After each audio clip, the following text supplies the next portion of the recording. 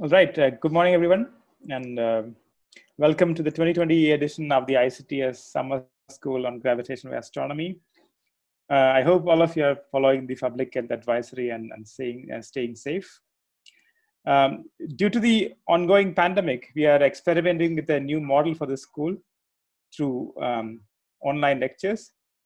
So I first wanted to thank, uh, on behalf of the organizers and the ICTS, uh, all the lecturers for agreeing to put in this extra effort, and for um, all of you for uh, joining the school remotely. I hope that uh, with a little bit of effort from all of us, we can make the school as effective as our uh, regular schools. Uh, so it's a great pleasure to introduce our first lecturer, Professor Harald Pfeiffer. Professor Pfeiffer is a world-leading uh, numerical relativist. He leads the numerical relativity group at the Max Planck Institute for Gravitational Physics in, in Potsdam, which is uh, also called the uh, Albert Einstein Institute. He is um, also a professor at the University of Potsdam. Earlier, he was an associate professor at the University of Toronto before he moved back to uh, Germany, which is his uh, home country. Professor Pfeiffer has made uh, major contributions to numerical relativity and the associated gravitational physics. He's um, one of the leading architects for the spectral Einstein code, which is the most uh, accurate numerical code for solving the two-body problem in GR. And beyond his uh, primary focus on uh, numerical simulations, he's also interested in, in, in, their applications to gravitational wave observations, the development of normal, uh, uh, novel um, numerical techniques and, and, visualization. His work has been widely recognized. He's a recipient of the Frederick uh, William, William Bessel Research Award by the Humboldt Foundation, and is an associate fellow of the Gravity and Extreme Universe program by the Canadian Institute for Advanced Research, the CIFAR. In addition, uh, Professor Pfeiffer has uh, held several important uh, organization roles uh, within the LIGO Scientific Collaboration and the LISA Science Team. So uh, with this introduction, let me invite uh, Professor Pfeiffer to give the first lecture.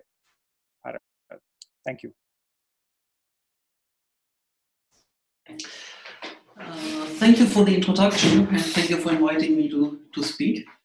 Um, I'm very sorry that I cannot be in India. I would have looked forward to uh, visiting India again and, and, ICTS in Bangalore, but perhaps another time in, in the future.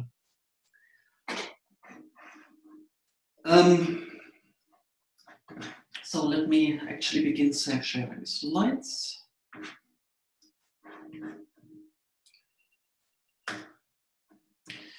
So uh, a little bit of introduction in terms of slides, and then uh, we'll switch over to the actual lecture. So the, the, the primary goal here is to solve Einstein's equations for the merger of two black holes, uh, like you're seeing in this movie here.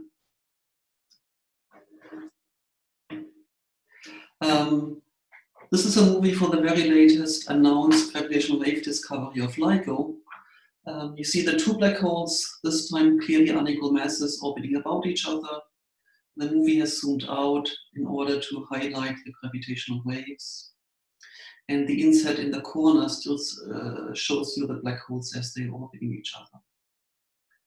The in this particular simulation, the big black hole carries a spin, as indicated by the white arrow you see in the corner. And the spin direction and the orbital plane direction is changing during the movie, during the inspiral, um, because of general relativistic coupling between orbital angular momentum and uh, angular momentum of the black hole itself. Uh, the gravitational waves carry away energy, the orbit gets tighter and tighter, and now we are close to the two black holes actually merging into one. Um, a common horizon forms, and uh, the remnant black hole, initially distorted, then settles down to a quiescent black hole, and the burst of gravitational waves around the time of merger propagates away and leaves behind uh, just quiescent spacetime afterwards. So the, these, these are the type of events numerical relativity these days is focused on. And um, the primary reason still to do numerical simulations are to support gravitational wave astronomy. Um, um, I hope many of you have seen this, this, iconic image from a paper, from the discovery paper for gravitational waves. The top panel shows the gravitational waves as measured by the LIGO detectors. The middle panel in gray again shows the gravitational waves as measured by the LIGO detectors. And in red and blue, uh, numerical simulations of two coalescing black holes in uh, full general relativity, the type of simulations I'm going to talk about between today and Wednesday. And uh, the importance of these numeric simulations for, for the LIGO discoveries are manifold. Uh, the numerical simulations influenced the construction of the search templates, which are used to identify putative signals in the data stream. Um, the numerical simulations are essential to estimate the parameters of the black holes. Um, like this very first detection, the black hole masses were about 30 plus 36 solar masses. We wouldn't know this without uh, the numerical simulations. And they are also essential to learn about the nature of gravity, whether general relativity is the right theory of gravity or not. Very simply put, in order to test general relativity, in order to compare its predictions with nature, you must know what the predictions are. And for the actual merger phase of the two black holes, the numerical simulations are the only means to actually um, scope out and investigate the implications of general relativity in sufficient detail. Um, numerical relativity roughly splits into three different aspects. And I decided to structure my three lectures around these three different aspects. So today's lecture plan is uh, the formalism behind numerical relativity. Uh, answering the question, how does one turn Einstein's equations into a form that can be solved by supercomputers? Tomorrow, we'll be talking about the numerical methods that are used when solving Einstein equations on supercomputers. And on Wednesday, I will be talking about results. What have the NR simulations accomplished so far? And what else remains to be done? So this is a summer school. So I'm going to switch to low tech uh, for the rest of it. Um, in part because I was hoping to actually write on the blackboard while uh, while being in India, uh, which is much more fun than giving slides. But unfortunately, also because I didn't have uh, the time to, to uh, translate all my my handwriting notes into uh, fancy PowerPoint slides. Along the way, I think Ajith already told you so. Please do ask questions and also, please do ask uh, the Zoom buttons. So there's, there's one for hand up if you want to ask a question. Uh, there's also buttons to, to indicate that you would like to me to proceed faster or slower. Um, please use these tools. Um, they are important feedback. Otherwise, I'm flying quite blind here, and this is not uh, a nice idea.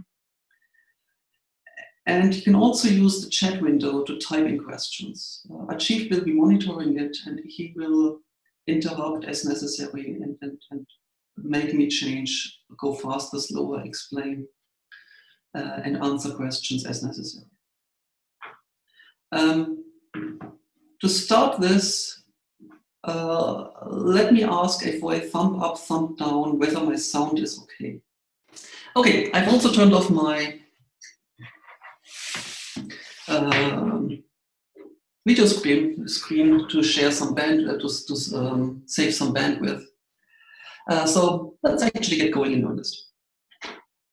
Um, as I said, our goal is numerical relativity in, in my set of three lectures.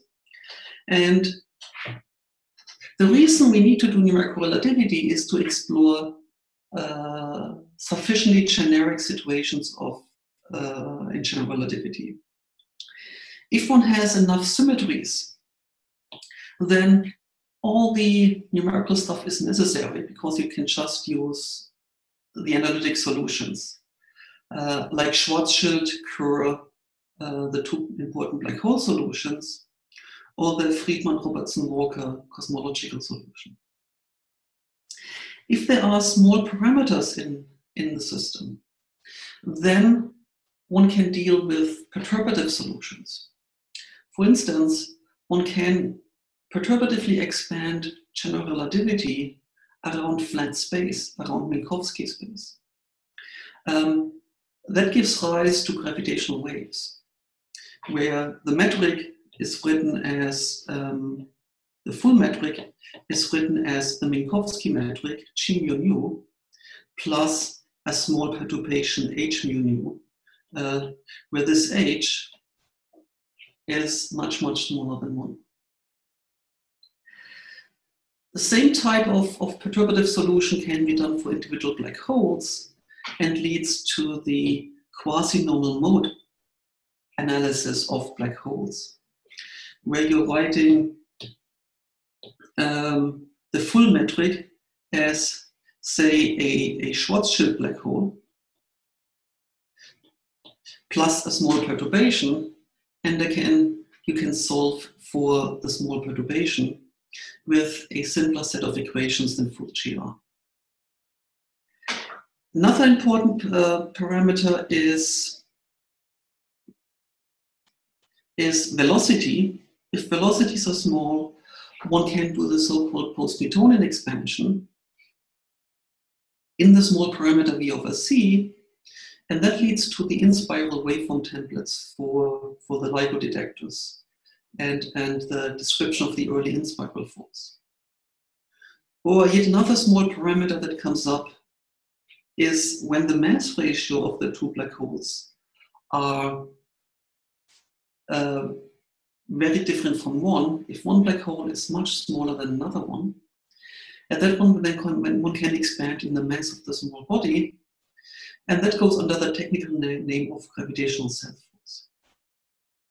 So in many situations, we actually don't need full numerical relativity simulations, but whenever all these uh, specialized situations don't apply, if you have strong field gravity, if you have a highly dynamic situation, like at the merge of two black holes, and if there aren't any symmetries in the game, again, like if you have two black holes orbiting about each other, perhaps even with spins that are pointing in generic directions, that is then the domain of numerical relativity. With the most important um, application these days, um, the coalescence of two compact objects, in my case, two black holes, in the other lectures in this uh, school, also neutron stars. As I said, the two objects are first heavily orbiting about each other at some large distance. They're getting closer and closer together. Um, eventually, they're merging, forming a deformed black hole, which then settles down to a quiescent black hole. And all of this gives rise to the um, typical waveform. It's oscillatory during the in-spiral, first long wavelength, uh, short amplitude, then shorter wavelength, larger amplitude. Uh, the biggest amplitudes to near merger, at least for equal mass systems. For very unequal mass systems, the peak amplitude actually is before merger. And then an exponentially decaying ring down phase at the end. So um, numerical relativity can answer the question of, of what's going to happen at all. Does this um, process unfold as I've just described or otherwise? Uh, what, is the, um, what is the outcome? What is the mass of the final black hole? What's the spin of the final black hole? Is the final thing a black hole at all? Or is, say, the weak cosmic center, the, the cosmic censorship conjecture violated and we form a uh, naked singularity.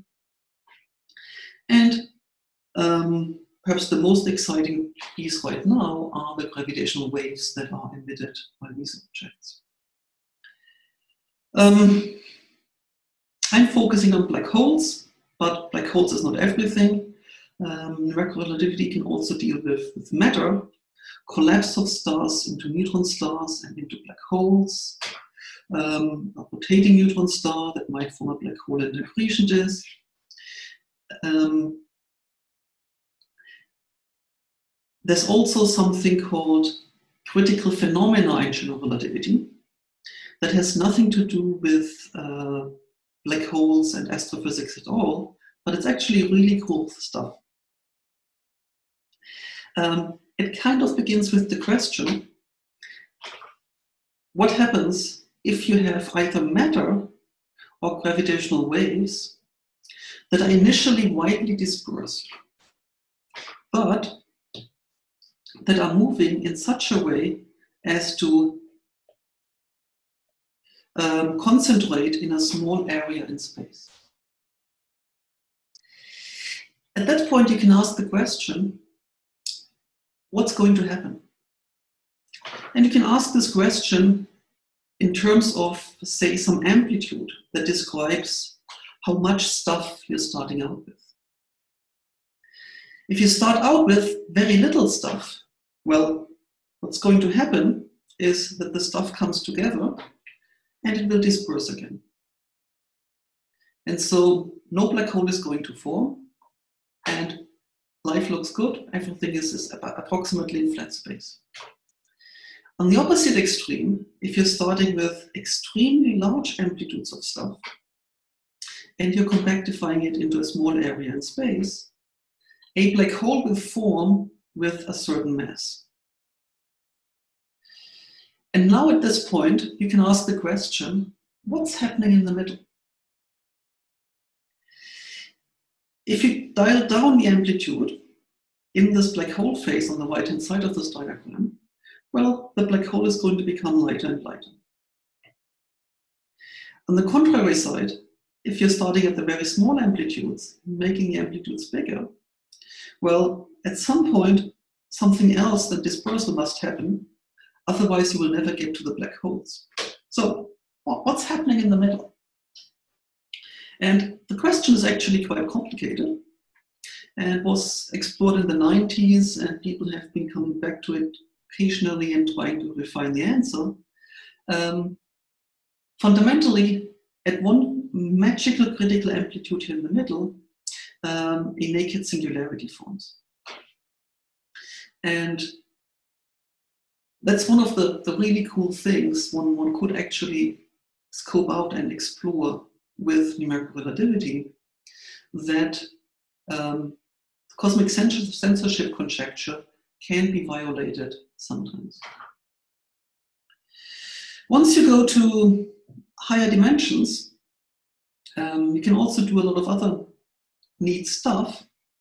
Um, for instance, in four dimensions, black holes must always be spherical objects. Whereas in higher dimensions, you can have black holes of a lot of different topologies. For instance, in five dimensions, you can have a black string. And uh, these objects also collapse. And what happens when black strings collapse to something else was explored with numerical relativity.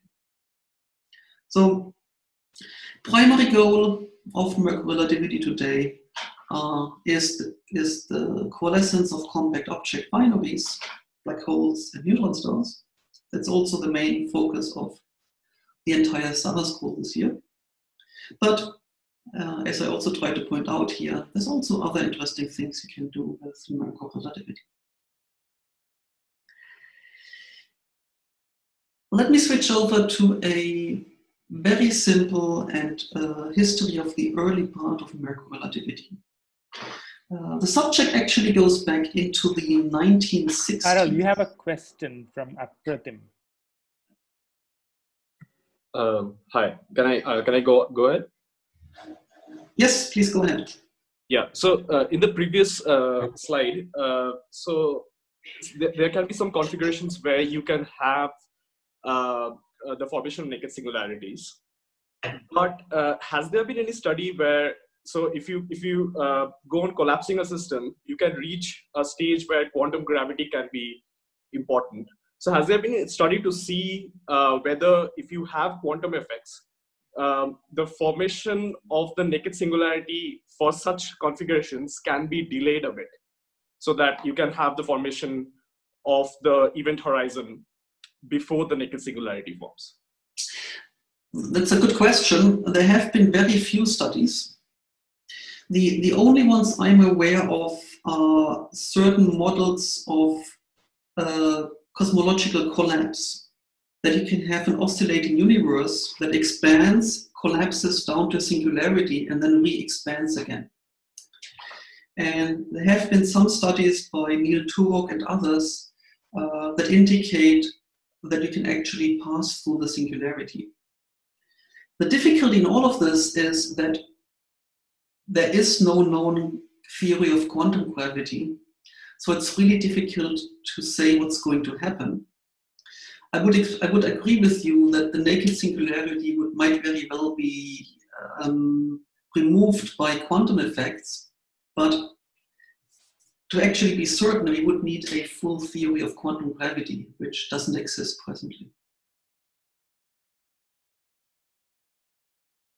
Uh, sorry, just to follow up. So uh, what, what I was asking is if you can just say add in higher order terms and see if it gets delayed a bit. So I know it's not a, a full theory, but to see that whether if you if you keep on adding higher terms, whether in such configurations where you previously see naked singularity, which, whether that can be delayed or not. That's a very good question. I don't know the answer, and I'm not aware of anybody having done this. Uh, thanks. Yeah. Okay, GR started actually in the 1960s. 1964 was the first simulation of what turns out to be two wormholes connected to each other. And they went on a 50 by 50 uh, grid point grid for a total of 150 time steps. That was Hahn and Lindquist. In the 70s, there were the first attempts to do head-on collisions of two black holes by Smarr and Eppley are the first names connected there.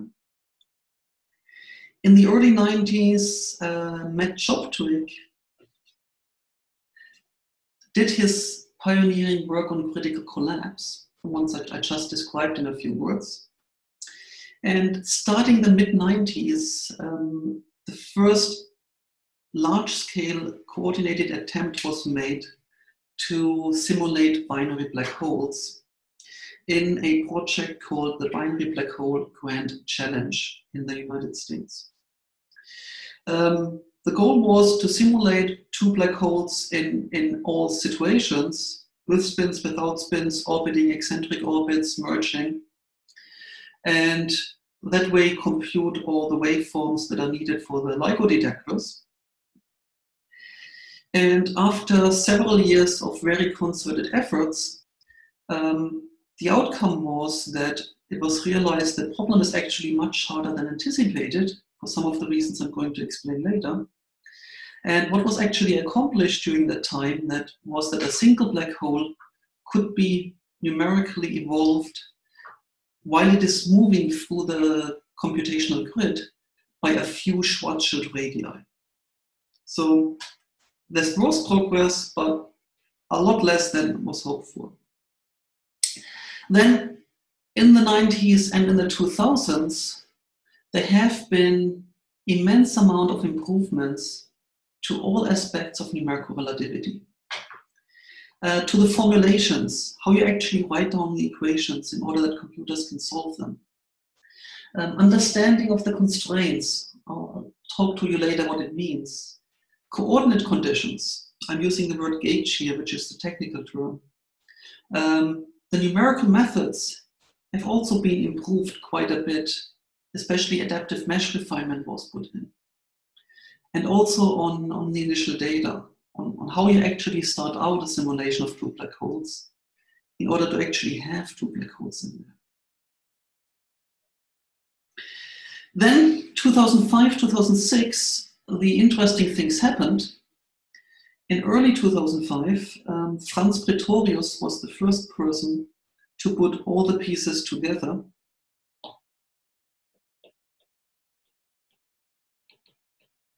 into a working code that actually was able to, to simulate the last few orbits of two black holes around each other and its merger. And he's using a approach that goes under the name of generalized harmonic approach, which is one of the ideas I'm going to describe at the very end of today's lecture, hoping I, I get to it. And a few months later, in late 2005, two different groups, one at the Goddard Space Flight Center and one at Brownsville University of Texas, um, pioneered a different technique to solve black holes, uh, the so-called moving puncture method. And in 2006, a little bit later, my collaboration came around, the so-called SXS collaboration, standing for Simulations of Extreme Spacetimes, um, with our spectral method code to also solve Einstein's equations with different numerical techniques. Everything up here has been using finite differences. And what these words, finite differences and spectral and discontinuous Galerkin means is, is the topic of tomorrow. Then, so this was 2005, 2006. And then luckily there was 10 years time to actually explore the binary black hole problem in enough detail with the numerical codes to be ready in 2015 for the first detection of gravitational waves. As already mentioned earlier, um, the search templates have were built using numerical relativity. The parameter estimation was based on input from numerical relativity, and, and all the tests of GR uh, require numerical relativity as well. If you don't know the answer, you can't compare your measurement against the expected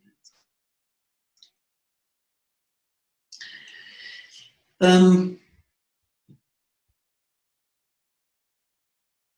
this slide I already talked about earlier, about the three different pieces of numerical relativity.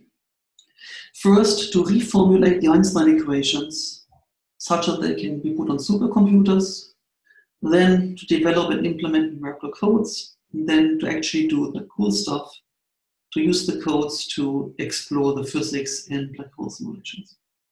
So let's switch over and become more technical and talk about how one goes about to rewrite Einstein equations in order to be able to put them on computers.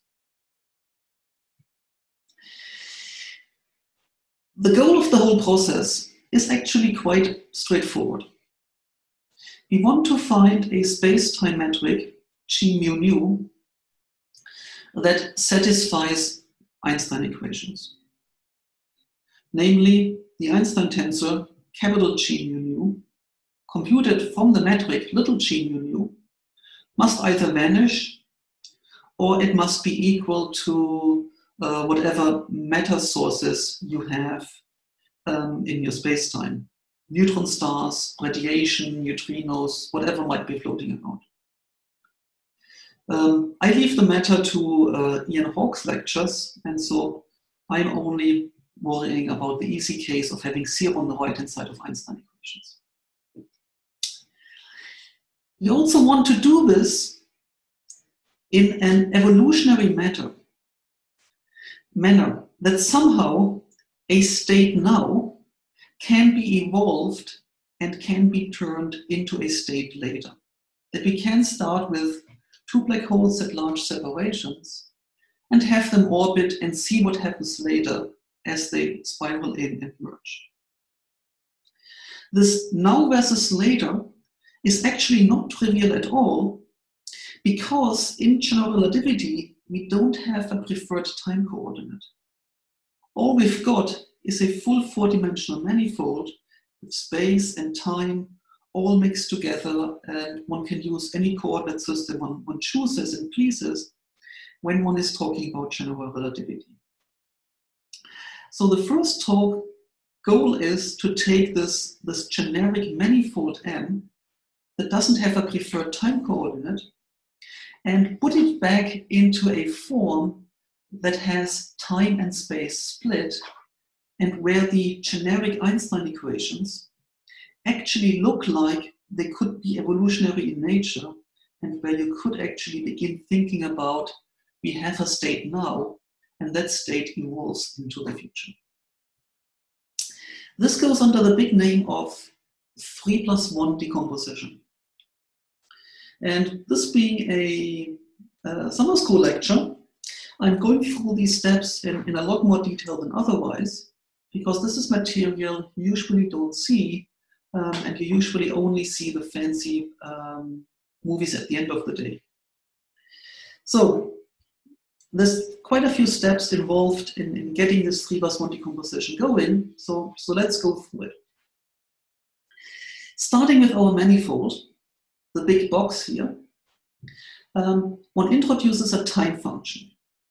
This is a function from the manifold itself to the real numbers, and it associates a real valued time to each point in the manifold. Um, such that hypersurfaces of constant time, say the lowest surface here might be all the points where this time function equals the value t1. These hypersurfaces, I shall call them sigma t, must be space-like. So we have one space-like hypersurface at t1. At some later time, this might be going into some later surface t2. And at some even later time, we might have some surface t3. And these time functions and their constant time surfaces, T1, T2, T3, they will be what we call surfaces of equal time. There is still a tremendous freedom left in how we choose this time function. Once we have these time functions, however we have chosen them, we haven't chosen them yet, we just assume they exist. Um, there's a lot of extra structure that now follows from these time functions and that we are now going to elaborate and work through. It starts with the normal one form to these constant time hypersurfaces. And like always, the normal to a constant a surface of constant value is given by the gradient of that function that has the constant value on the surface. Um, the normal one form is going to be time-like because the surface sigma t itself is assumed to be space-like. Um, we can now normalize this thing by simply computing a normalization factor alpha. And that way we get a normal, a unit normal one form and a unit normal vector to our hypersurfaces.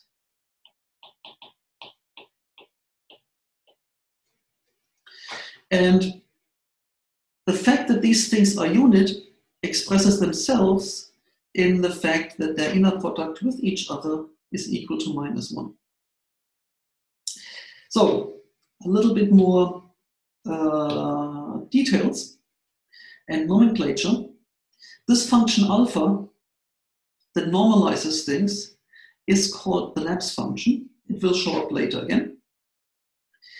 This minus sign that I was sneakily putting in um, into my definition of unit normal actually makes the end makes the unit normal future pointing, where future pointing means that if you take the gradient of the time function and contract it with the normal, you'll find a positive number.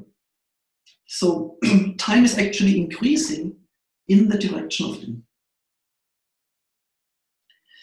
Okay, so we have a normal to the hypersurface now, but we also have a lot of extra structure within each one of these hypersurfaces. So let's take one of these hypersurfaces and Let's see what we can do with them. So here's my hypersurface. I still call it sigma t. One can first define spatial vectors. spatial tensors. Ah! Getting there. Let me get my colors all sorted back out again. Sorry for that. Spatial tensors, by definition, are objects that are tangential to the hypersurface. And tangential means that they don't have a component orthogonal to the hypersurface. And that means any contraction with uh, the unit normal is going to vanish. For a vector, a vector is called spatial, like this V, if its contraction with the unit normal vanishes. A tensor, like this one here, is called spatial if its contraction with any index with the unit normal vanishes. So starting with the contraction of mu, of mu all the way to the contraction of the last index, which are called mu in this example. So we have objects that are intrinsic to the surface called spatial tensors. We can also project any space-time object into the surface as well. And that works basically as you would project um, three-dimensional uh, uh, uh, vectors around in Euclidean geometry. If I start with a generic vector, like this V, that has a component within and outside the hypersurface sigma t, you can compute its orthogonal part, V orthogonal, as an inner product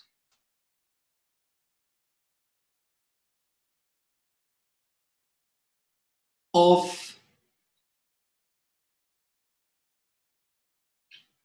here's a typo. Uh, you can compute it as as um,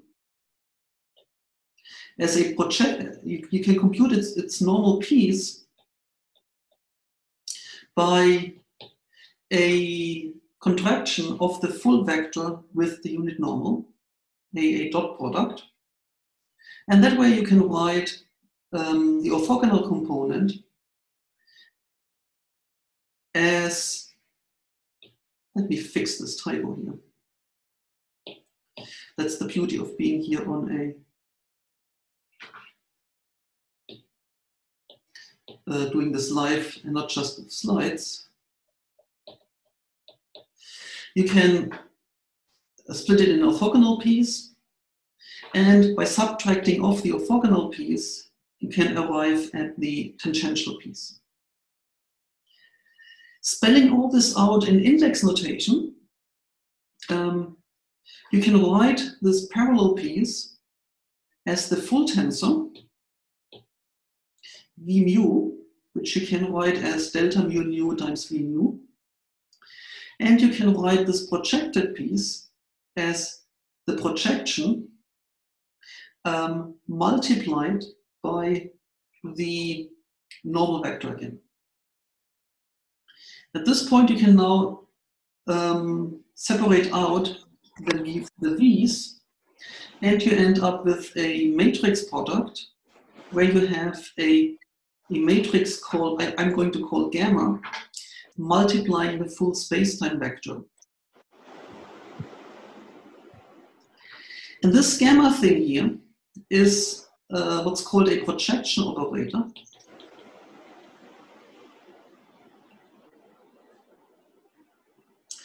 Um, projecting a full space-time vector, V, into its spatial part, V parallel. Harald, there is a question from Saumen Roy.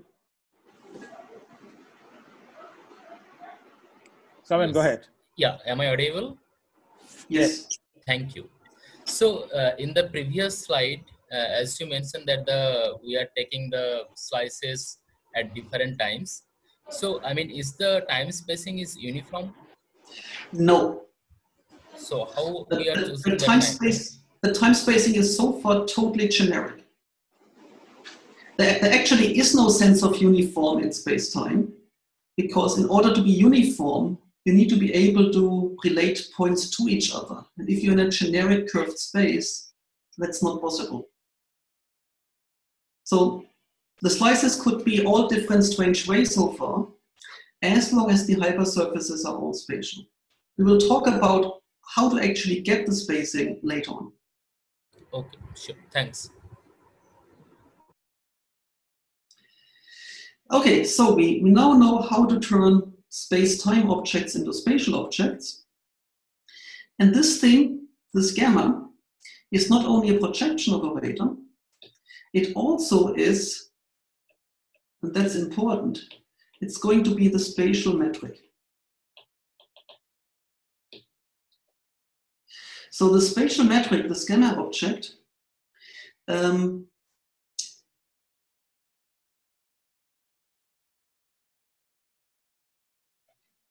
is can be viewed, can be shown to be the spatial metric, because what we can now do is we can take the space-time metric, the g, and we multiply it by with two projection operators to get the spatial metric projected into the hypersurface as well. And if you go through the math, it's a few lines basically using that n times n is minus one, you'll end up with um, a certain particular form for this thing, which happens to be precisely the same gamma mu nu we had as projection operator, except that both indices are lowered.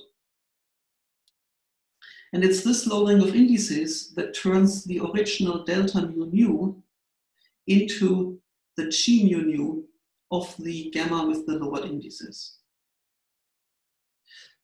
So with this gamma, we can now do a lot of different things. It is the spatial metric in that it can be used to measure distances without, within the hypersurface. It is the projection operator that turns space-time tensors into spatial tensors.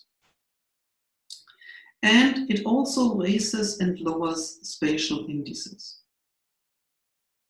For instance, if we have a vector with lower index mu, space-time vector, however assumed to be spatial.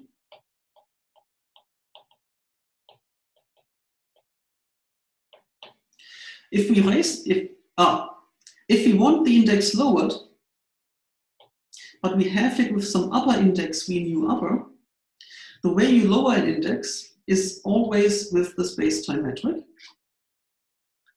If we now plug in the three plus the, the gamma the gamma form of the space-time metric, then you will notice that the second term drops out because we have said that uh, V parallel is a spatial tensor. So we have the V parallel mu, dot n equals zero. And what is left is only V parallel upper mu times gamma. So spatial vectors and tensors you can raise and lower indices either with the full metric G or with the spatial metric gamma. Having gamma now, we can also define the full differential geometry within the hypersurface itself. So this starts out with having to define a spatial derivative that works on spatial tensors only. So to define this thing, for scalar functions, we're defining it as the space-time derivative, then multiplied by the projection operator, where the projection operator removes any time component of our space-time derivative. If you have objects with indices, like here, a vector, again, the spatial derivative is defined as the full space-time derivative. And then each index is being multiplied by one of these projection operators. Um, for nomenclature, this is the space-time covariant derivative And the d mu is the spatial derivative we are going to have. um, one can check the spatial derivative satisfies all the conditions you have on derivative operators. It's nice and, and well defined. Having it, we can next define spatial curvature tensors using the commutation relation that defines the Riemann tensor in general. So this equation now, using the spatial derivatives on the left-hand side, defines our spatial Riemann tensor on the right-hand side.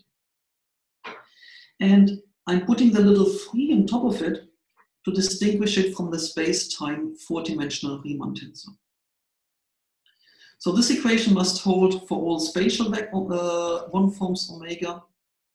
And the second defining property is that the spatial Riemann tensor multiplied by a by the normal must be zero, that the spatial Riemann tensor is spatial itself.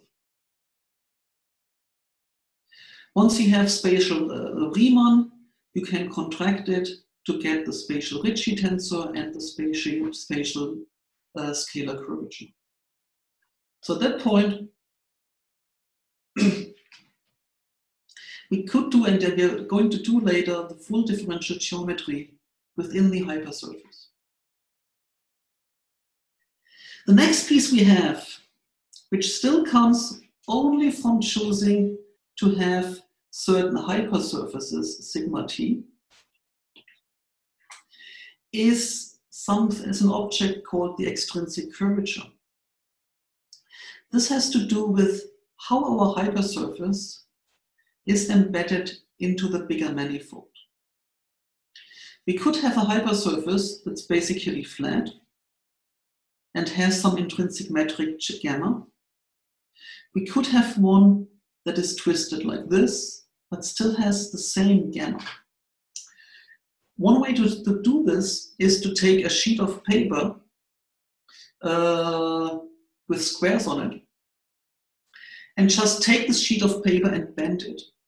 Just by bending a sheet of paper, you will not change its intrinsic geometry, how distances are measured within the sheet of paper, but you change its relation to the embedding space.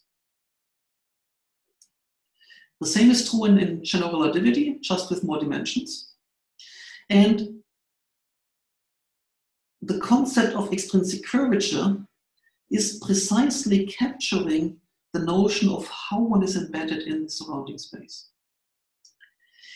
A curved surface is associated with the unit normal changing direction from point to point. And it turns out this can be used nearly precisely to define what is meant by extrinsic curvature. Uh, the extrinsic curvature is given by the gradient of the unit normal. It's symmetrized and it's again projected into the hypersurface itself to arrive at a spatial tensor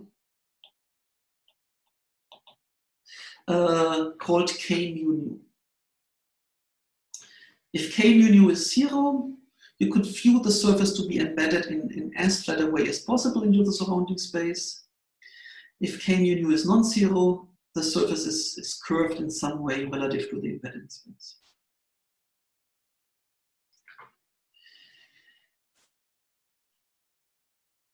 One can now show, I won't, but you can look it up in either Baumgarte and Shapiro or in Eric Gourgoulhon's lecture notes, uh, that were both given on the website, that my definition of K mu nu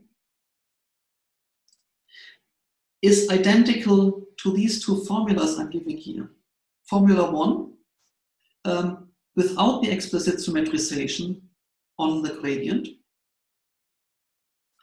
And formula two, um, with a Lie derivative of the spatial metric along the normal n. That might sound surprising, but the way to, to visualize this is by looking at small distances within the surface, like here, starting out between the two unit vectors I have been drawn here. If I take this little line element between the bases of my two n vectors I'm, I'm plotting here and move them forward along n, I get a longer vector in green right here in my sketch because of the way I had drawn my surface. And it's the metric itself that measures distances. And so if as you now move upward here, away from the initial hypersurface, the distance increases between two nearby normals, then this is, can be related to the change in the metric as well. And this is what this last equation down here uh, shows. So we have an extrinsic curvature. And so by now we actually have collected quite a few different objects and I'm running awfully totally out of time, it seems. So let me move a little bit faster going forward. 7.30, 8.39, I have, I'm pretty much halfway done, I guess, in terms of time. What I have not done so far is I have not chosen any coordinates yet. I'm always using space-time coordinates, mu nu, and I have not yet used my hypersurfaces to choose better used coordinates. So let's switch over and actually do adopted coordinates. Let's use our time function as one of the four space-time coordinates we're going to use henceforth. And let's use some spatial coordinates xi, which are not yet specified for the rest, for the remaining three coordinates. So a certain coordinate point here on the hypersurface sigma t will have coordinates t and xi. And if I'm going to the next surface, t plus delta t, somewhere on this surface, I'm going to have a point that has the coordinates t plus delta t, like every single point on the next hypersurface. But one of these many points will also have the same spatial coordinates xi. So there's a line along which the spatial coordinates xi are constant.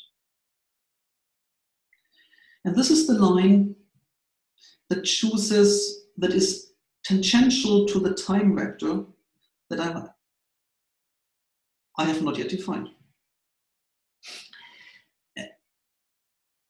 This time vector can now be split into a component orthogonal to the hypersurface along n, and a second component tangential to it called beta.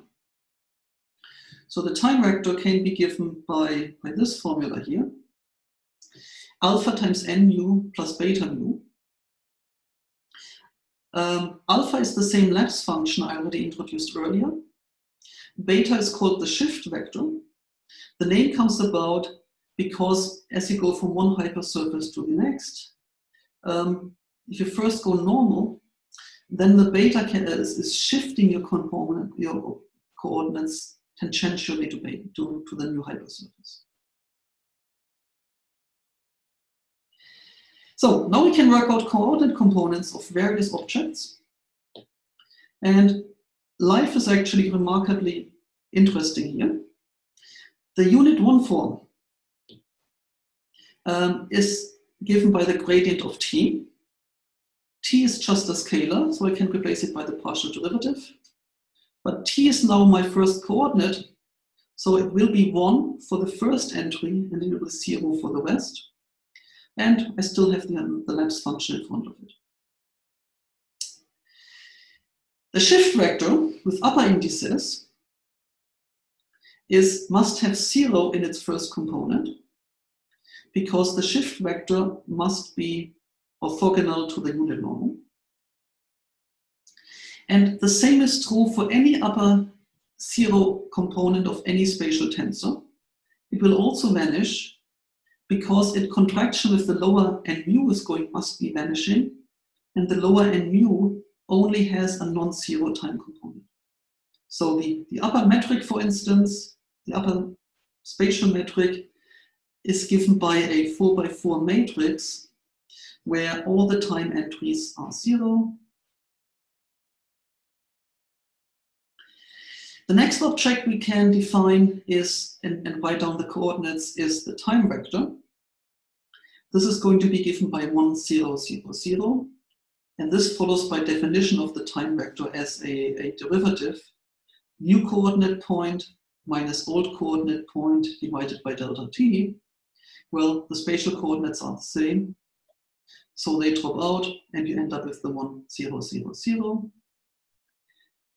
Having the time vector and then the normal vector and, and the shift vector, we can write down the normal vector.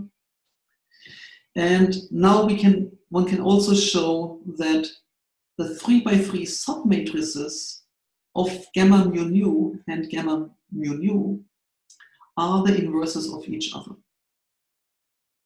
That means you can raise and lower spatial indices with just the 3 by 3 submatrix gamma instead of the 4 by 4 matrix gamma. For instance, beta with lower index i is given by gamma ij times beta with the upper index j. At that point, we have all the pieces of the space-time metric expressed in, in pieces that we have now split, uh, uh, accumulated in the 3 plus 1 split. And it turns out you can actually write the space-time metric in this form here based on all the uh, smaller pieces I have introduced. And this leads to a very iconic form of the line element given by minus alpha squared dt squared plus gamma ij, the spatial metric, times uh, two spatial uh, uh, coordinate basis one forms. And this split has the name of 3 plus 1 metric or ADM metric. For Arnowitt, Deser and Misner,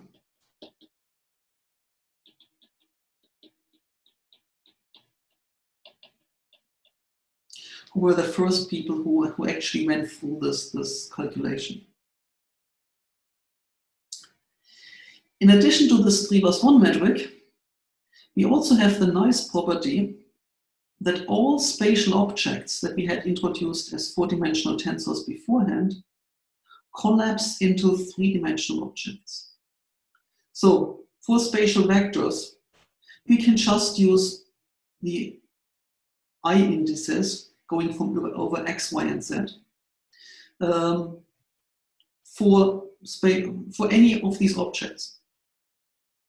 Also, the space-time derivative, uh, the, the spatial derivatives, turns into objects that only have spatial indices and that happen to be given by precisely the forms uh, you know from usual differential geometry if you just had never in included a time coordinate to begin with.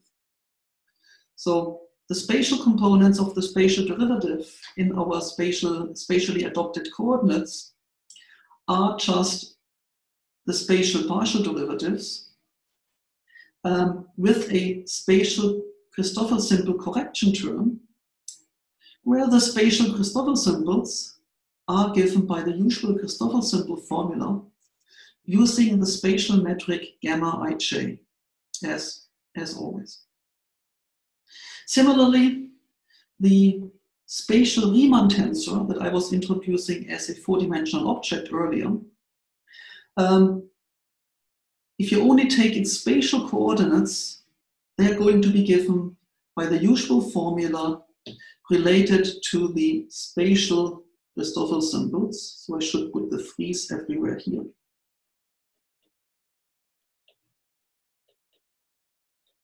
So everything fits very nicely together. And we are basically um, close to being done with decomposing Einstein equations. The last step now that we have done all our uh, preliminary work is to actually decompose Einstein's equations themselves. So I've written them down here again. And decomposing means that I take this expression and I'm multiplying it with, say, two times the unit normal to the hypersurface. That would be the time-time component. I can multiply it with one unit normal and one spatial projection of operator gamma. That would be the time-space components. And I can multiply it with twice two spatial projection operators. And if one does this, one obtains equations that actually can be written in terms of these smaller objects I was introducing so far. The time-time component turns into an equation that has the three-dimensional Ricci scalar and the extrinsic curvature in it. The time-space component turns into something that has a covariant spatial derivative and extrinsic curvatures. And the time-time, the, the, the space-space component turns into something that has a time derivative of the extrinsic curvature and a bunch of curvature terms on the right hand side.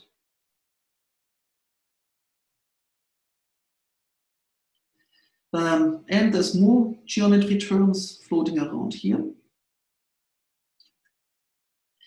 In addition, in these equations, if one has um, matter, like the 8 pi t mu on the right hand side, that will also remain. It will show up in all these um, equations as well. If you're taking the projection with two ends, what shows up on the right hand side is no big surprise. T mu projected with two ends. If you take the space-time components, then you have the 8 pi SI on the right hand side, where the SI is, well, no big surprise. It's T mu nu contracted once with an, a normal and once with the gamma. And if you're taking about talking about the gamma gamma components, you have this middle line here that has the two spatial projections of um, this momentum tensor built in. So you end up with a set of equations that looks like this, and that is augmented coming from the definition of the extrinsic curvature by this formula here that gives you a time derivative of gamma ij in terms of the extrinsic curvature and the shift vector. Uh, this formula comes from the uh, Lie derivative of gamma mu nu equals minus 1 half k mu nu. And if you spell out the Lie derivative in, in terms of covariant derivatives, well, you get the expression I have written down here as time of gamma. And it also comes along with writing the space-time metric in the form I've already spelled out a few lines above. So this big box is now the, the full 3 plus 1 decomposition of Einstein's equations. That goes under the name of, of ADM equation, Arnowitt, Deser, Misner, 1962. And so far, all of this seems to be looking very, very swell. Um, so let's actually try and talk about this box for a few minutes and see what we have here. Okay, let's see. Uh, plenty of comments. First of all, all variables may depend on both space and time. So everything you're seeing here, extrinsic curvature, matter density, uh, three Ricci tensor, spatial metric, anything can be functions of space and time that, that just change around. The gamma ij and the k ij look like evolved variables. We have equations here that tell us how they change forward in time. We have equations that give us time derivatives of kij and, and gamma ij. The right-hand sides are complicated, sure, but it looks like evolutionary equations. So we are moving towards the point where you can specify them at some time t0, and then you can evolve them to some later time. The functions alpha and beta are freely specifiable. They encode the coordinate freedom of general relativity. Recall that I earlier told you that if you have a hypersurface T0, alpha tells you how far away the next hypersurface is. And so by the choice of alpha, you can choose the shape of the next hypersurface, the T1. Similarly, the beta chooses how much coordinates shift between the initial hypersurface and the next hypersurface. So there are these lines of constant xi. And with the beta, you can choose where the lines of constant xi go from one hypersurface to the other one. So the alphas and the betas, they just tell you what the coordinates are as you go forward in time. And conversely, if you stare at these equations, it actually turns out nothing specifies them for you, nothing tells you what they should be. They show up in various places, like here, like here, Sure, they show up. You can pick them. They, once you pick them, they will determine how K and gamma change. But they only encode the portions of K and gamma that depend on coordinates. Next, we have a set of equations, the first ones I was writing down, that do not contain time derivatives. These first two equations here, they don't have any time derivatives in them. They are what is called constraint equations. They restrict the possible choices of k and gamma at each instant in time. So, so you can't just pick any gamma ij and kij, they have to be satisfying those four constraint equations. You can show them that if at time equals zero, you have satisfied your constraints, uh, the constraints are going to be preserved later on by the evolution equations. So in principle, it should be good enough to satisfy the constraints at time equals zero, and then you can go off and use the evolution equations to go forward in time.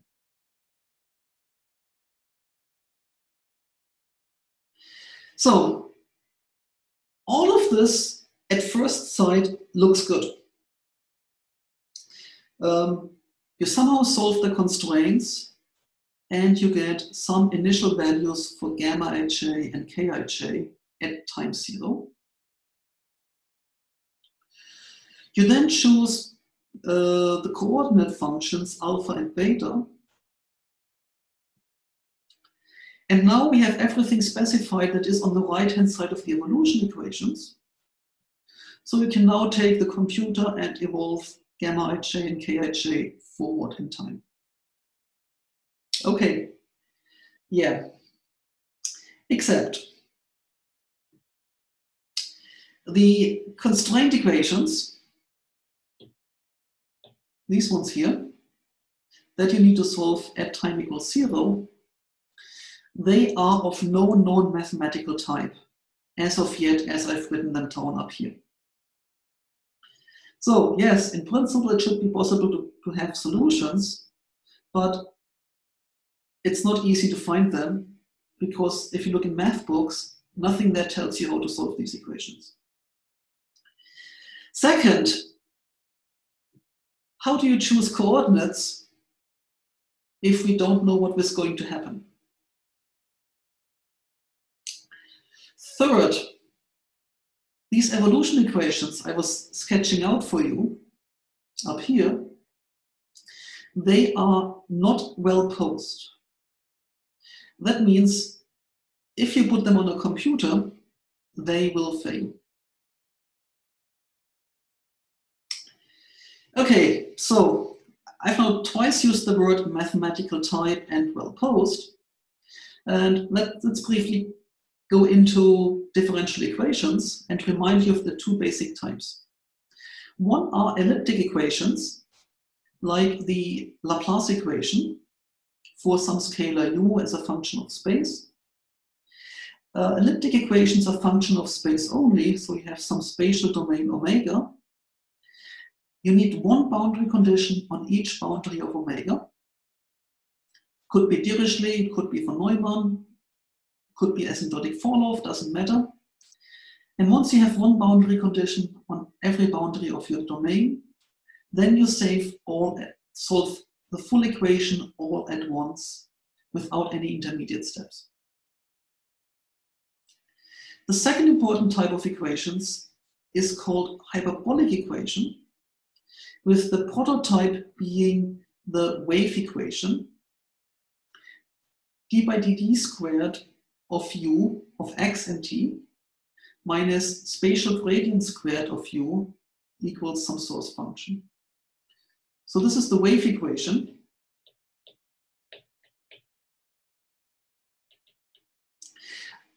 It's a function of space and time, u of x and t. And so what you're having is you have a spatial domain, omega down here, and then you have a time axis going up. And what one needs to solve these type of hyperbolic equations is one needs two initial conditions at t0, uh, the values and the first derivatives.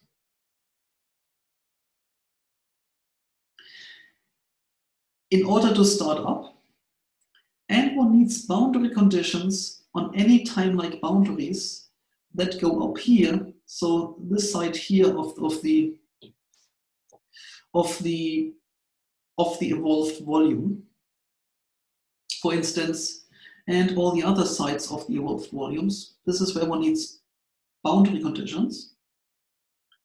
And one has no boundary whatsoever at time t2. The important part of, of hyperbolic equations is that the future follows from the current state. You have initial conditions at t0, and it will tell you what's going to happen later on. And in particular, it will tell you what happens at capital T1. So these are evolution equations where you start at some early time and you can evolve towards later times. And now the next goal of, uh, of the formalism of GR is to actually turn uh, what are the ADM equation into um, well-defined elliptic and hyperbolic equations for evolutions. Um, the constraints are the simpler things to do. So let's look at the constraints first. And the fundamental strategy is to use potentials to isolate the right number of degrees of freedom.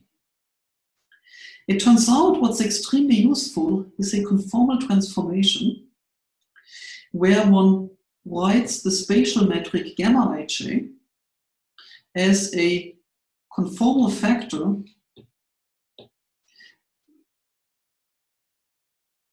that is assumed to be positive everywhere times a conformal metric. Now, the word conformal comes about because this type of transformation doesn't change angles, therefore the word conformal. With this conformal metric gamma tilde, we have yet another complete differential geometry. We can combine, uh, define everything again based on this gamma tilde, a inverse metric gamma tilde, Christoffel symbols from gamma tilde, uh, covariant derivatives of gamma tilde, curvatures defined from gamma tilde, the whole thing. And if you do so, you can show that the three-dimensional scalar curvature of the full space-time, of the full metric gamma, so this is the thing coming from gamma, is equal to certain functions of gamma tilde. It turns out this one term that just has the scalar curvature of gamma tilde. And there's one term that has the Laplacian of psi built in. If you look back at the Hamiltonian constraint, wherever it was, it had a term free scalar curvature put in. And this free scalar curvature now turns into a, where are we? This free scalar curvature now turns into a Laplacian on psi. If you rearrange terms, solving for the Laplacian of psi, what you'll find is the Laplacian of psi um, plus extra terms. There's an R tilde term coming from right here. And there are Kij terms coming from the rest of the Hamiltonian constraint further. The viewpoint now taken is that given gamma ij, we now have a nice elliptic equation for psi with the nice Laplacian as one of the terms. So the viewpoint for solving the constraints, one of the viewpoints is we write the full spatial metric that we want as a as of yet unknown function psi times some other metric gamma tilde. We choose that other metric gamma tilde in some way. And then the Hamiltonian constraint will tell us what the function psi is.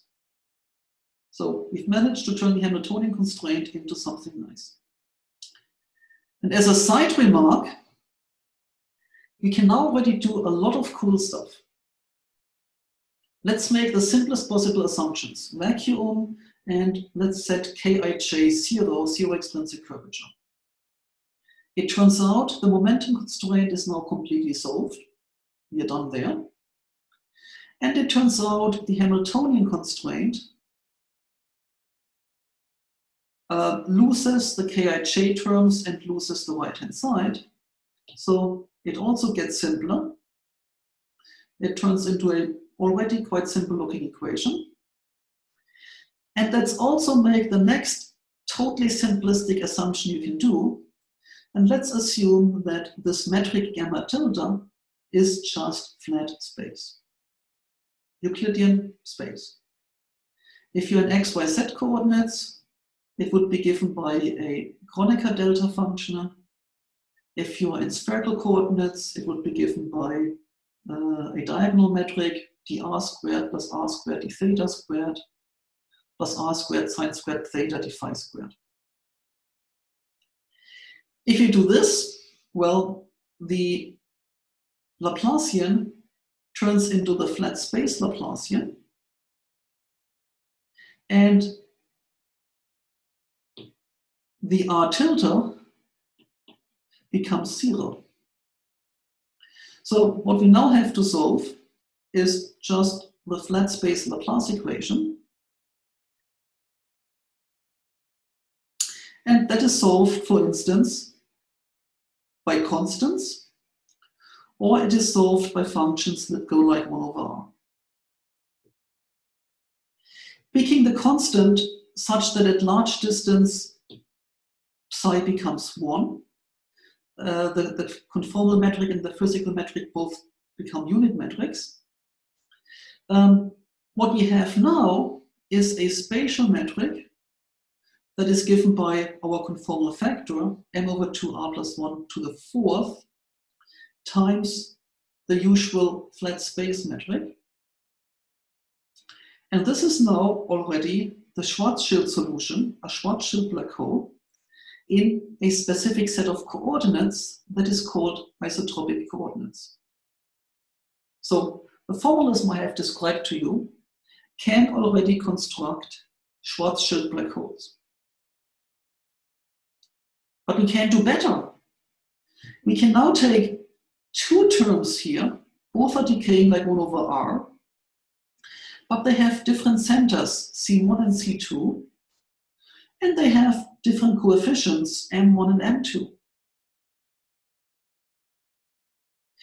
This function psi, combined with the flat space metric again, is now giving us two black holes at the locations C1 and C2, two black holes at rest. So with remarkable little work, we could work out how to get initial conditions that actually correspond to one black hole, two black holes, or a lot more black holes. There's a similar decomposition for the extrinsic curvature. Turns out setting it to zero is not the, the best thing you can do, because if you set it to zero, you can only get black holes at rest. Um, you can also play quite nice games with the extrinsic curvature uh, using more nice conditions that make things quite easy looking. And at the end of the day, once you do this, you end up with um, another elliptic equation for some vector v um, that shows up in the extrinsic curvature. And so we have the situation that the momentum constraint turns into three elliptic equations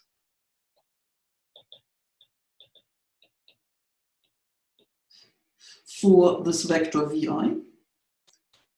And the Hamiltonian constraint turns into one elliptic equation for psi. And so the, the overall strategy becomes to first choose whatever the pieces are that show up in the right-hand side of these elliptic equations. I, talked, I talked about the gamma delta. And in the momentum constraint, you have two more things showing up, K and AIJTT. You have to choose boundary conditions on your elliptic equations that enforce you actually get black holes. And then one can solve these two sets of equations here, these four equations, 3 plus 1, for uh, psi and vi. And then one can assemble the full initial data, the full gamma ij, and the full kij. And at that point, one is done with constructing initial conditions. Um, there's more to this game, both in terms of simplifying it again. The nice thing to simplify it is that there are analytic solutions for these VI functions that work fairly well.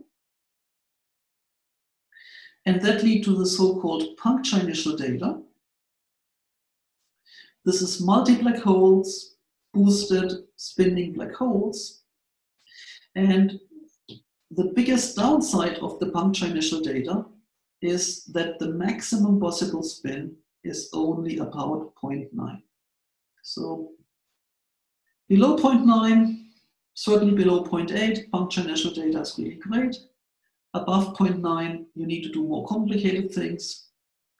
You really need to, to solve the V equation as well, you can't get away with the analytic solution. And you need to be, put more effort into boundary conditions, and then you can get up to spins as, as high as basically you wish. That goes under the name of conformal sandwich, but I will skip over it. Um, in to save a few minutes of time. So the initial value equations we've now dealt with. We've turned them into equations where tomorrow and on Wednesday I'm telling you how to solve. Now what can one do with the evolution equations? I've spelled out here the, the structure of the ADM equations again. We have the time derivative of the spatial metric gamma ij, and that basically has the kij on the right hand side. That is fine. And then there's the time derivative of the kij that has basically the Ricci tensor on the right hand side. If one looks at the terms that are in the Ricci tensor, one finds three different pieces. One is a wave operator, a certain combination of second derivatives of, of gamma ij. That wave operator is absolutely no problem. Uh, wave equations are the prototypical hyperbolic equations. There's a lot of literature how to solve them. That would be nice and no problem whatsoever. Then there are a lot of terms, I'm just schematically calling them gamma gamma. They are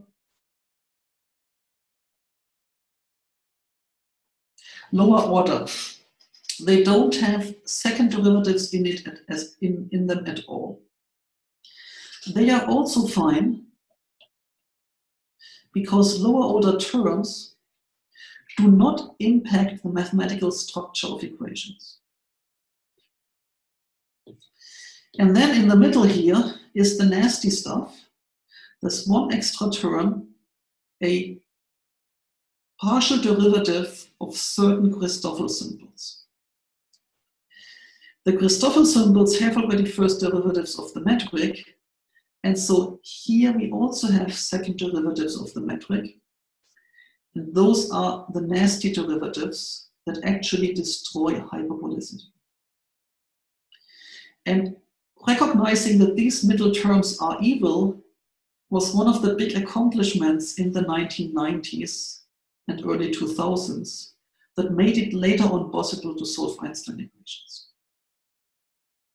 So we have an equation that we want to solve that is given to us, Einstein equations.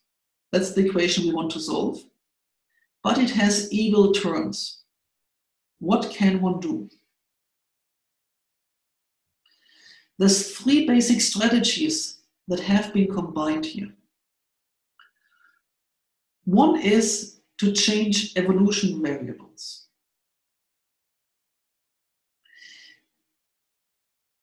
It turns out the mathematical structure of equations depends on what variables you write them in. So for instance, one of the things that's being done is that the full gamma ij is being split back into a conformal metric, gamma bar ij, and a conformal factor e to the 4 phi. I'm now using the, the nomenclature that is more commonly used in the evolution equation, but the gamma bar is just the gamma tilde I had earlier, and the phi is basically the psi I had earlier. So you, you can make the split, and you then end up with equations for gamma bar and for phi. And it turns out it does matter whether you make this type of split or not. The second trick one can do is one can add multiples of the Hamiltonian and the momentum constraint. Um, the Hamiltonian and the momentum constraint themselves have second derivatives built in, second spatial derivatives, wherever I have them. So here's the, there is a three scalar curvature in the Hamiltonian constraint, and there's a gradient of the extrinsic curvature in the momentum constraint. So the constraints are supposed to be satisfied, so they're just zero. we can add them to the evolution equation, and this will change what partial derivatives are on the right-hand side of the evolution equations. And this can be used to get rid of some of the bad terms. And finally, one can introduce dummy variables. So I've told you the gamma is a nasty thing. Well, let's just call the gamma a new variable in our evolution equations. If we do this, the gamma still shows up in some evolution equation, like here, but because gamma itself is now an evolved variable, what we have here is now only first derivatives of the evolved variables.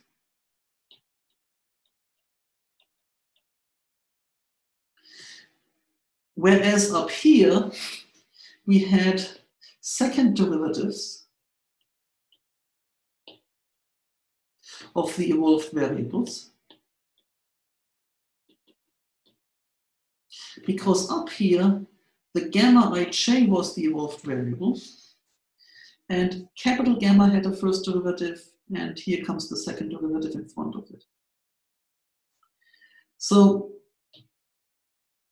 by this trick of introducing dummy variables, one can actually reduce the differential order of terms in the equation.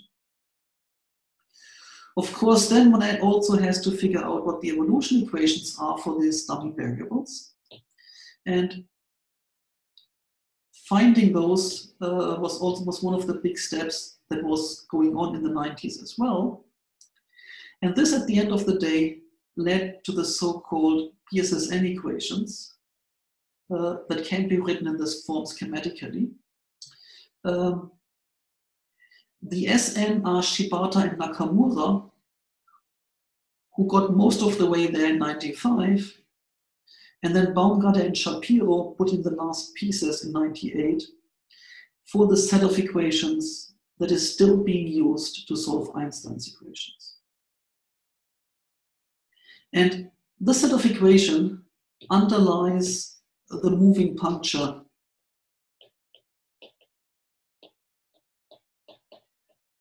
evolutions.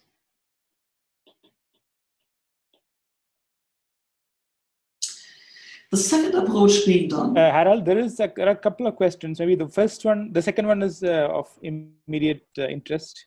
It is where the gauge cut parameters alpha and beta map to when we rewrote the uh, equations using the conformal transform? That's, that's an absolute, that's a very, very good question. They still hang around here on the right hand side of all these equations. And they come back into a slide that I took out earlier um, when I was preparing slides because I feared I was running out of time. Because this is now combined, so the, the alphas and betas are still floating around here on the right hand side. They haven't been removed yet.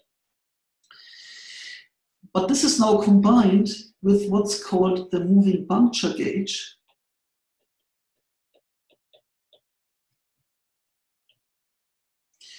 that basically tells you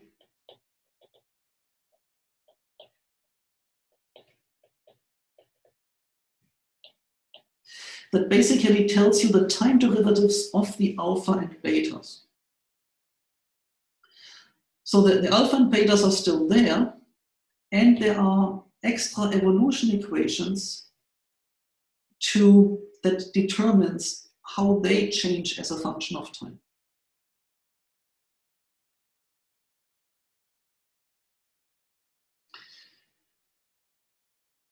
The other question I see already 10 minutes ago, apologize, apologies for overlooking it. Um, is it possible to have a solution consistent with GR where the two black holes are at rest? Um, the answer is yes, kind of. For generic, plain, usual astrophysical realistic systems, no, it doesn't happen. always gravitational wave emission is driving the system towards merger because there is no stationary state where any force can balance the attractive force of gravity. So without attract, the only way in astrophysical situation where you have to balance the, the gravitational force of gravity is by putting centrifugal forces in rotation. But once you have rotation, you get gravitational waves, and that ultimately leads to merger. Where things can get to work in astrophysically not relevant cases is when you have black holes with extremal charge. So you have, say, Reissner-Nordström black holes, non-spinning, but you put on as much charge as you can to just barely uh, be at the threshold of, of naked singularities.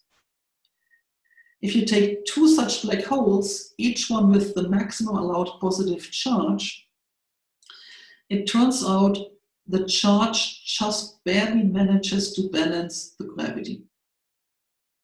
And this would be a situation where you have two black holes at rest. However, any whatsoever slight perturbation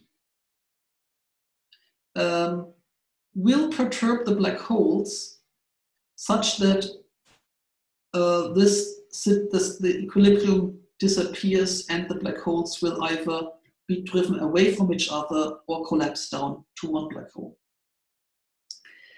Also, such immensely strong large charges are unstable to pair decay. So there's such a strong electric field around the black holes that electrons and positrons will just form spontaneously in the electric field. Uh, the one that has the opposite charge of the black hole will fall into the black hole and reduce the charge of the black hole. The other one will go to infinity. And that way the charge of the black hole is reduced and then the black hole's gravity will take over and they will fall together.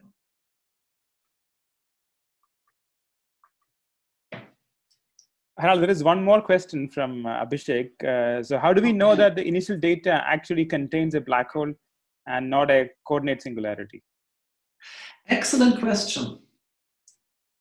Where was that question? I don't see it. This came in private to me. I think he. Oh, okay. Cool. Um, the way to find this out is by either you can either you can do two things. Basically, I've written this down very briefly and didn't go into it. You choose the boundary conditions when solving the initial data to enforce the have black holes present. Um, in one formalism for setting initial data, you actually have an extended inner boundary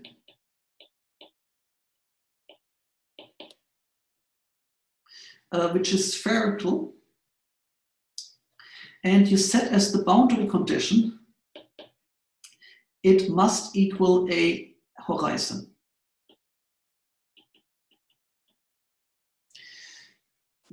It turns out this turns into a valid boundary condition which in turn, by its mere presence of the boundary condition, will force a black hole to be there. The second trick is to use the, wherever is it, to use the asymptotic form of this psi function. It turns out that behavior of psi that goes like 1 over r, this is a Einstein-Rosen bridge.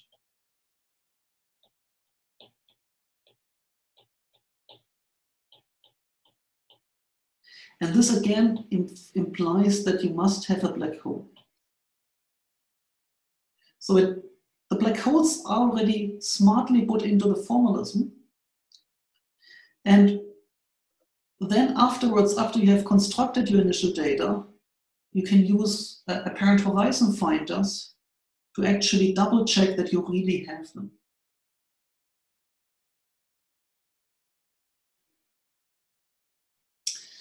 If I may go over time for another 10 minutes, I would like to also uh, discuss the other way of solving the Einstein evolution problem, the so-called Schwarz harmonic equations. Here the idea is to stay four-dimensional. So we start, we start with the four-dimensional Einstein equations. Um, they have the same structure as just indicated above. There's a nice wave operator. That's fine. They have lower order terms. That's fine. They have the same nasty intermediate Christoffel symbols that make everything not fine at all. In this four-dimensional approach, the important trick to notice is that these Christoffel symbols that show up here are actually related to the coordinates themselves. It turns out the Christoffel symbols are certain second derivatives of the, of the coordinates. And so the old trick, coming back more than 100 years already, is to choose coordinates such that this thing here is identically zero. If you assume you have coordinates where that satisfy this condition, well, then the gammas are zero. And then this whole nasty term is gone. So far, so good. This works very well for post-Newtonian calculation, but it fails near merger for black holes um, because you develop coordinate singularities. So the trick is to not require the full zero, but to put some functions on the right-hand side where these functions do not have derivatives of the metric.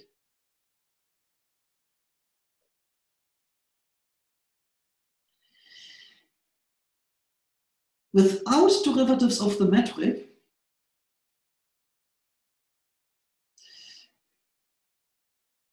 um, the gamma, which is equal to the h, will not have derivatives of the metric. And so we have this extra derivative in front of it. But this now will only have first derivatives of h which are first derivatives of the metric itself and not second derivatives of the metric. And so that's where the nice thing comes in. Beforehand, the gradient of the Christoffel had the second derivatives of the metric, but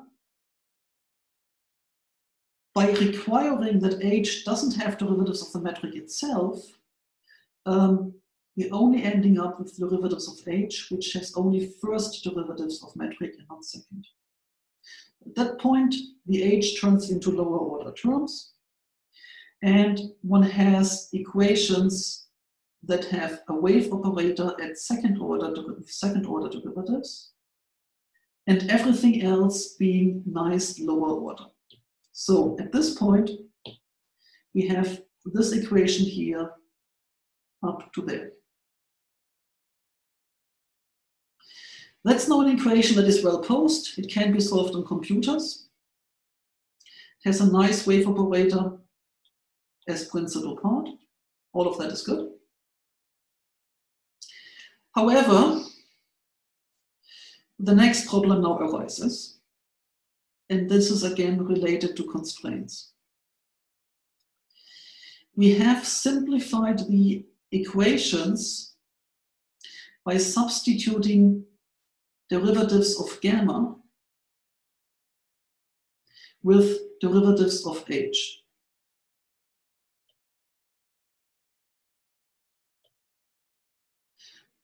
That made the equations mathematically nice. However, that replacement is only allowed if gamma and h are identical. If the difference is zero, And it, there's nothing in the evolution equations now that forces this difference to remain zero, unfortunately.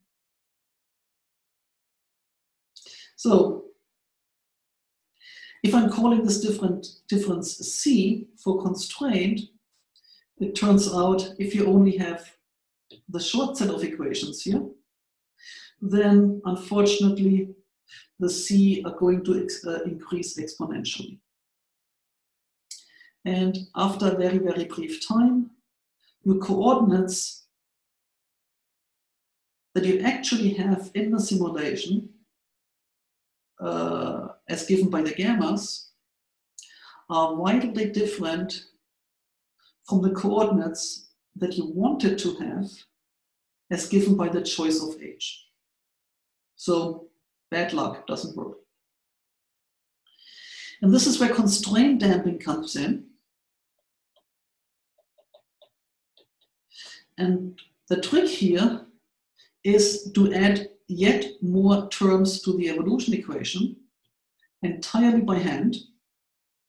Namely, this last part here is just being added to the evolution equation without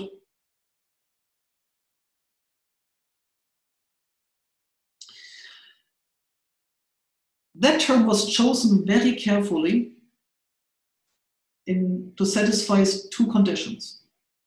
The first one is quite simple to describe.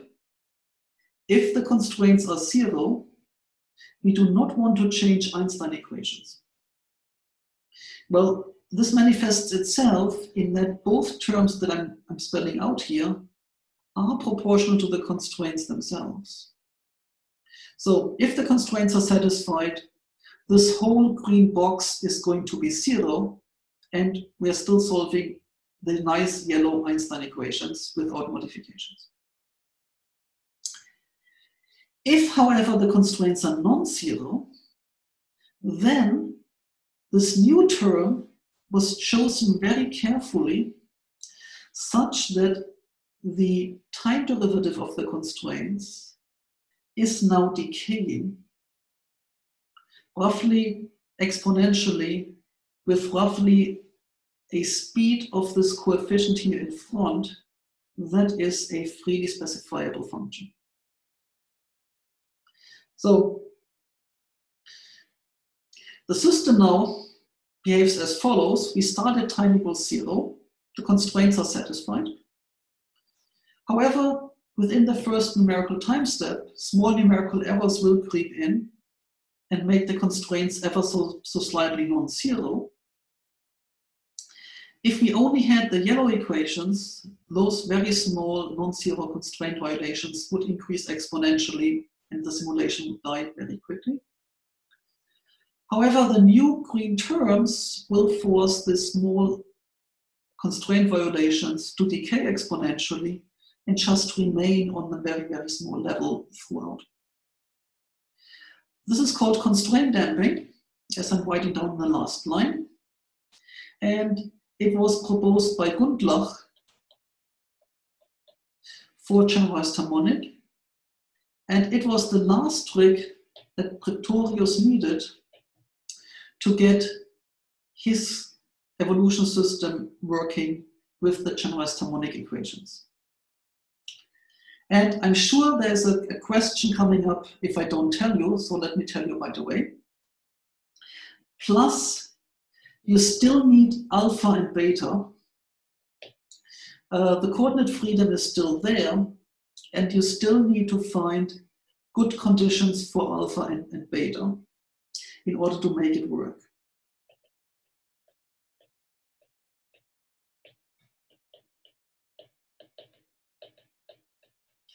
Um, those conditions are mostly a work of trial and error.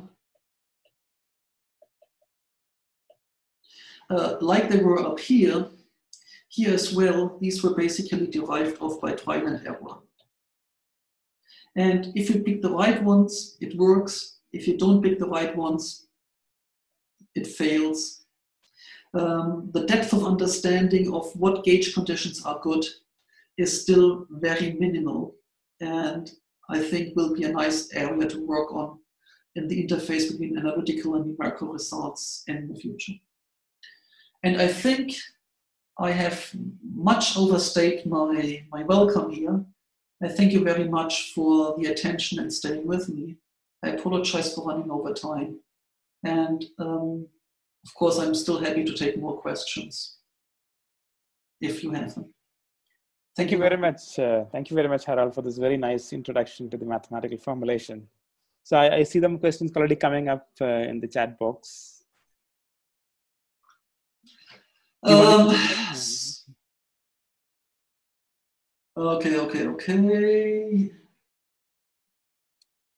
Yes, there are motivations for one how one chooses gauge conditions, and they are basically worked by trying to avoid uh, coordinate singularities. So this is the nice thing about having a, a piece of paper here. Hey, I can just make a new piece of paper. Hopefully at the end. Yes, here it is. Um, we basically start out with wanting to avoid, say, you want the spatial metric to be approximately constant. And so it turns out if you if you look at certain derivatives, if you take the, the time derivative of the spatial metric, uh, this is related to a Laplacian acting on the shift vector. And so by wanting to say, say, um, you want a zero time derivative of the metric or certain pieces of the metric, uh, that gives you a certain condition for, for the shift vectors. And since elliptic equations are difficult, you take now this equation and you turn it into a, some evolution equation where you're saying d by dt of, of beta i equals kind of minus gradient squared of beta i plus dot dot dot, where this equation basically ends up here on the right hand side. So you, you are going through motivational steps typically starting from I want the metric to be as constant as I can, that lead you to some type of equations. And then you, these equations are being modified with um, tons of coefficients until everything turns out to be working. So you put coefficients gamma is a bad choice for coefficient here. Uh, you could put some, some coefficients, let's call them A,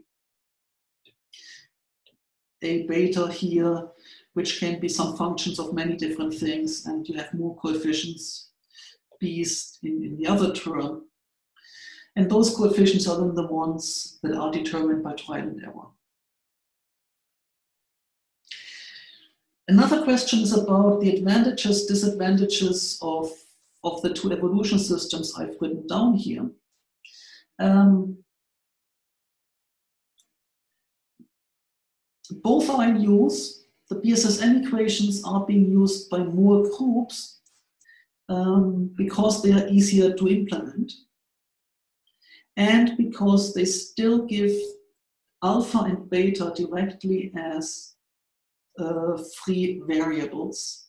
So it's much easier to in interpret what your gauge conditions actually might mean. In generalized harmonic, the gauge freedom is hidden in these h functions, and these h functions are, roughly speaking, the time derivatives of lapse and shift. So there's still a relation to lapse and shift, but it's much less direct. And so it's more difficult to choose good gauge source functions and still get the evolution to do what you want. The big advantage of generalized harmonic is the fact that you have a wave operator. That generalized harmonic is, at the end of the day, a wave operator, just a set of wave equations, and that makes boundary conditions very easy. That makes um, deep mathematical understanding of the equations quite easy. It also makes spectral methods possible. It turns out spectral methods are very sensitive to having to the mathematical structure of the equations. And for reasons I'm going to explain tomorrow, the fact that you have a very simple wave operator here is crucial for internal inter-domain boundary condition, inter-element.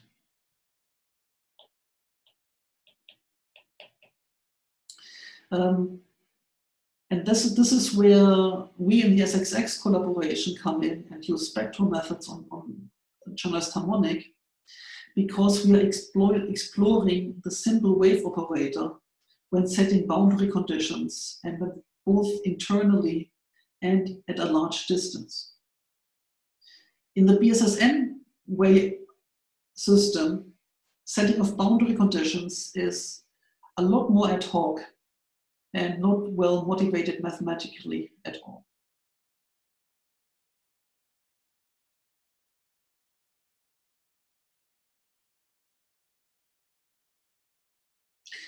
There's a question about why the double derivatives of the metric are troubling and affect hyperbolicity. I will go into this tomorrow and show you a, a little example of just a two by two set of ordinary differential equations that you cannot solve on a computer. And that will clarify what the difficulty is. So please wait until tomorrow. Okay, there is a hand up from Apratim and then Ajit Mehta. Uh, hi, uh, thanks for the nice lecture. So my uh, question is regarding this transformation from the ADM to the BSSN. Say for GR, as you mentioned that there's there's three steps which are involved. Uh, can you, uh, for first question is, can you um, explain the second step? The second is what I understood is um, it involves a lot of intuition. Now, if you have uh, some alternative theories of gravity and then you're considering BSSN equations, then you might uh, it might uh, turn up that uh, they are not they don't the equations the evolution equations are not strongly hyperbolic. But is there a way if if if the theory is like a um, you can get a perturb, uh, perturbation from gr then is it a way that we can perturbatively get some uh, conditions to uh, get strongly hyperbolic equations for these theories thank you so the the important part, and this also applies to the one question typed into the chat window, the important part is that the highest derivatives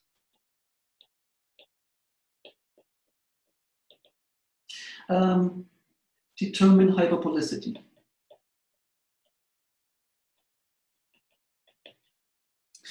And to answer the simple question first, if, if I have an equation, that's the one in the chat window, why does adding constraints actually make a difference?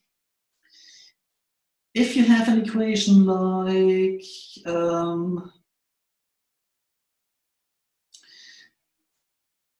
so d by dt gamma ij had a Ricci tensor on the right hand side, if we take the trace here, what we get basically is d by dt of phi equals trace of the Ricci tensor.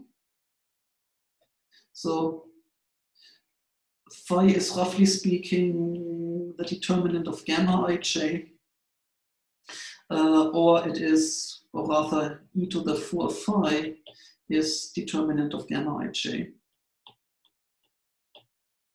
Uh, as it is for BSSN.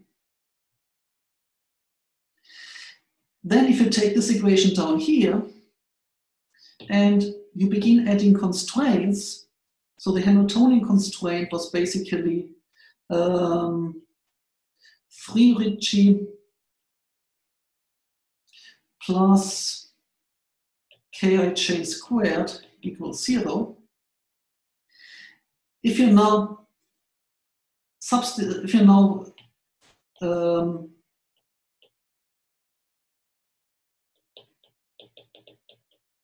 if you're now uh, subtracting the Hamiltonian constraint, what used to be a three Ricci tensor can be eliminated and can be replaced, for instance, by squares of extrinsic curvature terms. So you can, you can because the, the constraints also contain the highest derivatives in various combinations, you can use them to affect the highest derivative terms in the evolution equations.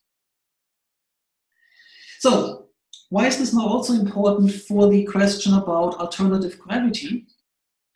And that now totally depends on what the evolution equations are for, for your alternative theories.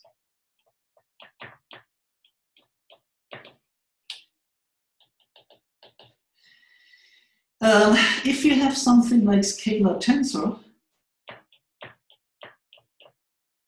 basically GR plus scalars and tensor fields, extra fields, this typically doesn't change the, the principal parts.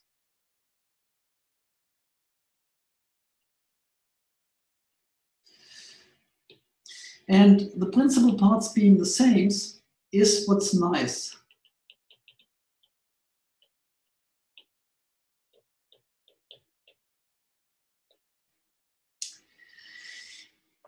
If you, however, have a, a scalar, an alternative theory where you're changing GR itself,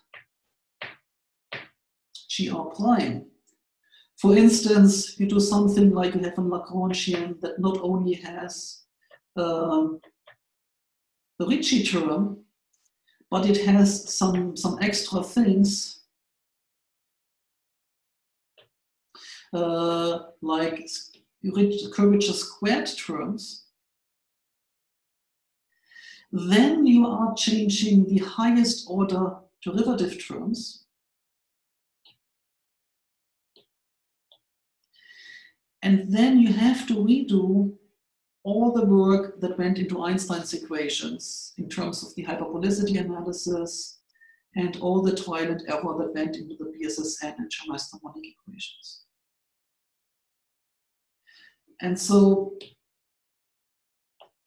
once you get to this modified theories of gravity where the actual metric equations change, there's a lot of work uh, in redoing all the formalism.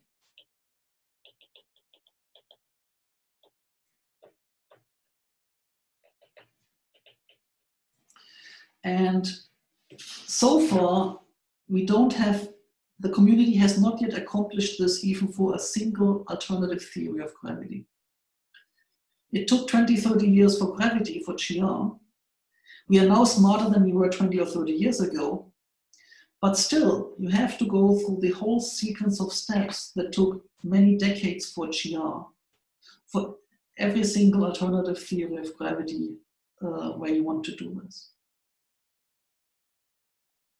Um, Harald, sorry, uh, what I wanted to say is I understand like when you're going from say R to R adding an R squared term. So you're what you're saying is you're increasing from a second order to a fourth order differential equations. But also uh, such such kind of theories have also been looked perturbatively. Um, if that in, in those cases uh, uh, will uh, will the situation uh, like how how to go for, for, to look for a strongly hyperbolic set of equations will that be an easier approach uh, easier to look? Like, is there a perturbative approach approach for that also from BSSN formalism? So if if you do this perturbatively, so what I've, I've spelled out here is, is the full nonlinear case.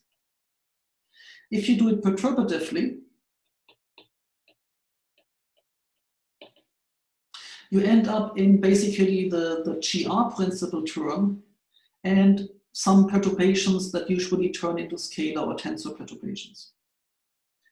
In this case, you are in the nice regime where just solving what you've done before, plus, well, a large number of extra scalar and tensor fields. And this is why this has been done, because the principal term parts are unchanged.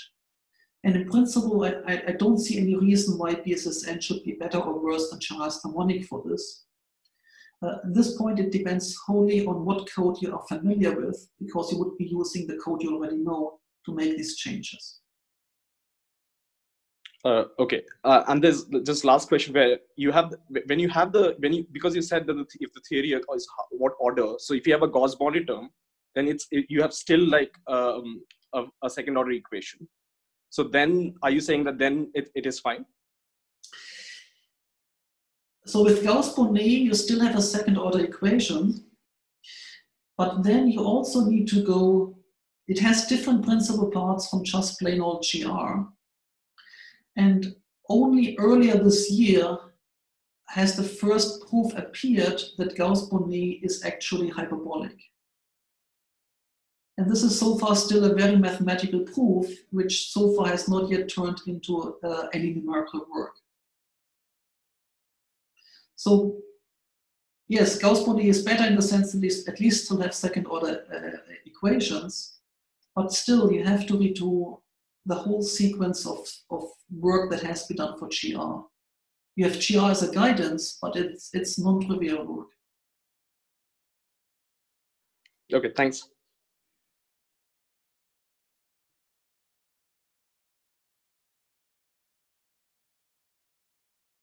Okay, Ajith has the next question.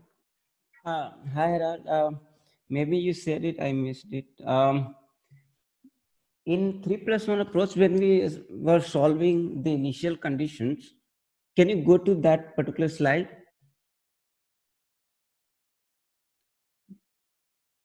The mathematical trick or whatever this conformal trick, uh, how, can you explain a little bit more? Like, I mean, in principle, we need to know gamma ij, which is spatial metric, into spatial metric which might have, I think, six independent component or whatever. But now we just are working with only psi of x, which is just one function. I mean, uh, if you choose like gamma ij, like uh, eta ij, like etc. I mean, yes. okay, you understood the question? Uh, no. Uh, so, so, so I'm then asking. So, in principle, one needed to know six components, but now actually it had reduced to just understand solving for psi, right? If you mm -hmm. choose uh, gamma ij equals to eta ij, which uh, reproduce basically Schwarzschild equation. I just wanted to understand basically uh, the physical meaning, how this solve the problem. Where, how did this trick work? We, we could have, I mean, we wanted to knew, we wanted to know gamma ij, and then suddenly you chose this conformal trick where gamma ij, eta ij, and then you just solved it. Like, I just want to understand how did Okay, so the what we want is gamma ij and kij. So these are 12 functions, 6 and 6, because both are symmetric. We have a Hamiltonian and a momentum constraint, which is 1 and 3 functions, 1 and 3 conditions. So we should have eight left. Right, right. And now, what we are doing for this very simple case is we are basically taking a subset of the equations by setting kij equals zero, we only are left with a choice for gamma that has to satisfy the Hamiltonian constraint. And so we have, at that point, we have six, six quantities we want to construct and one condition on them. Um, we split the six into one in psi and five in the conformal metric because the determinant doesn't matter. We could have said the determinant of gamma ij is one, to fix the sixth degree of freedom in gamma tilde. And then what remains is the Hamiltonian constraint is going to, the, to constrain the one constraint, psi. And the rest, the five, are freely specifiable. And what you choose there um, will depend on the physical situation one is interested in. Sometimes the really simple, let's choose a flat metric is good enough. It gives us Schwarzschild spacetimes. Um, if you want orbiting and rotating black holes, then you need to make smarter choices there, which I didn't get into.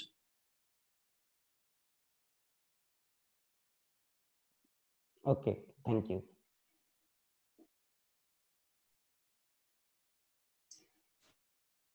Okay, I don't see any more questions. So thank you very much, uh, for this uh, wonderful lecture. And we look forward to hearing the next one tomorrow. Okay, thank you very much.